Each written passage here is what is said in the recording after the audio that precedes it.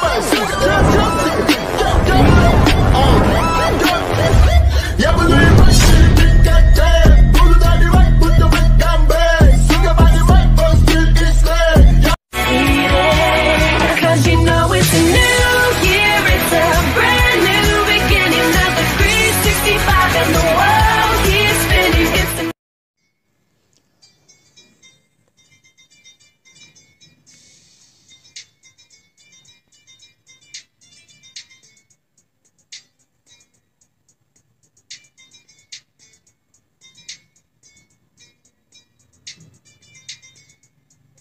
अस्सलाम वालेकुम आज हम वीटा या वीटा ऐप्स के बारे में बताएँगे, जो कि एक बेहतरीन ऐप्स है।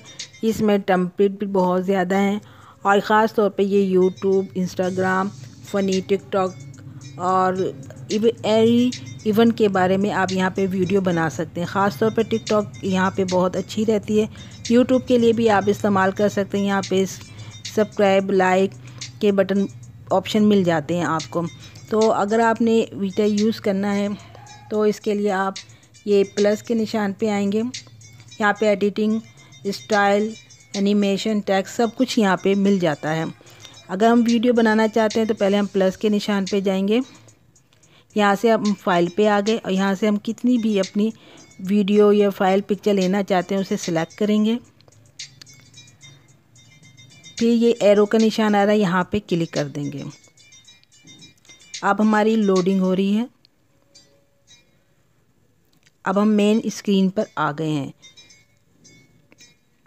यहाँ पे स्टाइल है एडिटिंग कर सकते हैं स्टाइल है टेक्स्ट लिख सकते हैं, सारे ऑप्शन यहाँ पे मौजूद हैं, जिस तरह भी हम अपनी वीडियो पे या पिक्चर पे काम कर सकते हैं नीचे स्क्रीन बार के नीचे ये सारी चीज़ें स्पीकर वगैरह सब हैं।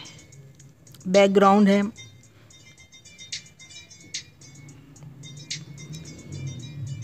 अगर आपने एडिटिंग करनी है तो एडिटिंग पे क्लिक करेंगे तो ये तमाम ऑप्शन एडिटिंग के खुल जाएँगे ओपन हो जाएँगे।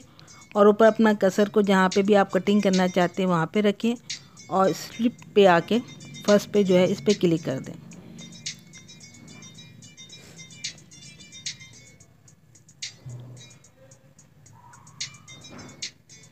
क्लिक करने के बाद हिस्सों में तकसीम हो जाएगा, आपका जो ऑप्शन जो भी वीडियो है आपको पसंद नहीं उसे फिर डिलीट कर दें। अब है स्टाइल स्टाइल पे जब ऑप्शन पे क्लिक करेंगे तो ये सारे ऑप्शन इसके ओपन हो जाएँगे और जिस तरह का भी ये स्टाइल लेना चाहते हैं, उस पर क्लिक करें और टेक्स्ट के ज़रिए से आप उस पर अपनी मर्ज़ी की तहरीर लिख सकते हैं। साथ में म्यूज़िक है, अगर आप वहाँ पे म्यूज़िक लगाना चाहते हैं तो म्यूज़िक लगा लें।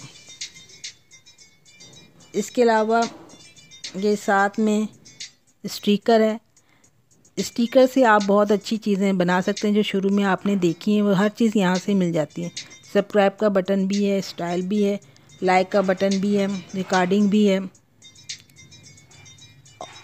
वॉल्यूम को स्लो हाई करना, वो भी है बैकग्राउंड भी है। बैकग्राउंड होता है पिक्चर के पीछे का जो बैकग्राउंड है, उस, उसके स्टाइल हैं। जब इस पर क्लिक करेंगे तो तीन ऑप्शन आ जाएँगे।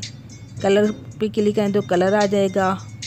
और इस पर क्लिक करेंगे तो इसके आगे बहुत सारी चीज़ें आ जाएँगी। जो भी सिलेक्ट करें उसके बाद गुड पे निशान लगा दें।